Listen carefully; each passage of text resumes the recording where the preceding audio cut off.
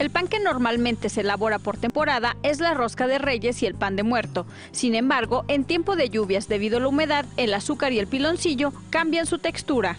También tenemos algunos tipos de pan que son como las chorreadas, las campechanas, que por las cuestiones climáticas y la humedad que tiene el ambiente, este, no se pueden elaborar. Bueno, sí se elaboran, pero realmente hacen un poquito chiclosos, entonces muchas de las veces optamos por no elaborar ese tipo de pan. Para no mermar sus ganancias, algunos panaderos optan por no producir las campechanas y las chorreadas, o bien toman otro tipo de medidas.